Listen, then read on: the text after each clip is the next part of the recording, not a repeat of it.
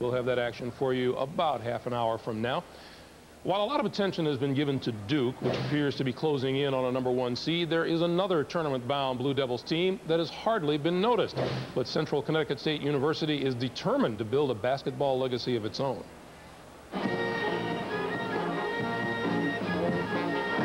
Try to get.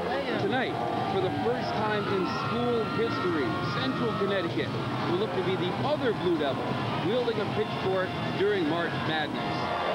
Although it plays in the shadow of UConn, CCSU is quickly establishing a name for itself in the Constitution State.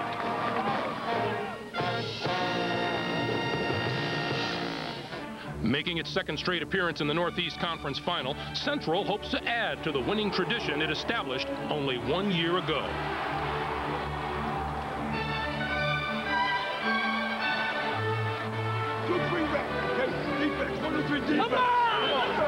Head coach Howie Dickenman left his assistant's job at UConn and returned to his alma mater with the hope of restoring a floundering program. And with a victory over Robert Morris, he's done. That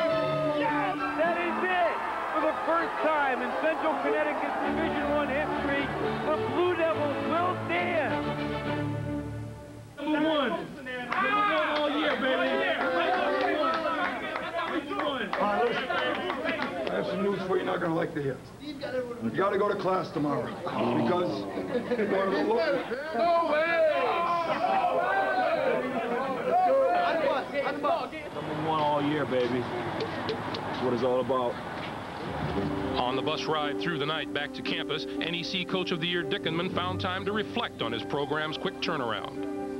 We kind of just started a program from scratch with some freshmen that we recruited and, and built it up to the point now where we've been here for four years and have a, a pretty solid foundation. The cornerstone of that foundation was a local kid who wasn't recruited by anyone and became the NEC's Player of the Year and Defensive Player of the Year this season. I definitely want to play at the Division One level. And luckily for me, Coach D got the job at Central in the late signing period, and he was offering me a scholarship. Wow, And now, the reality of their accomplishments sets in. We won, and we like we did it. Just a dream come true, and we the first team to do it for um, Central Connecticut. And the CCSU Blue Devils are on the road to the Final Four as part of the 64-team field. Clark, the NCAA has this tradition of huge schools playing big-time parts in the tournament, but Central Connecticut State University, can you imagine what it's on that campus this week? Oh, it's exciting. But you know what? I would, like to look at the tournament as a nice, hearty beef stew. Your big schools are your potatoes and your beef. Your small schools are the vegetables, the pepper, the seasoning. And that's what gives the stew the flavor, the small ingredients. And that's what the smaller schools are when you talk about the drama and madness and mayhem of March.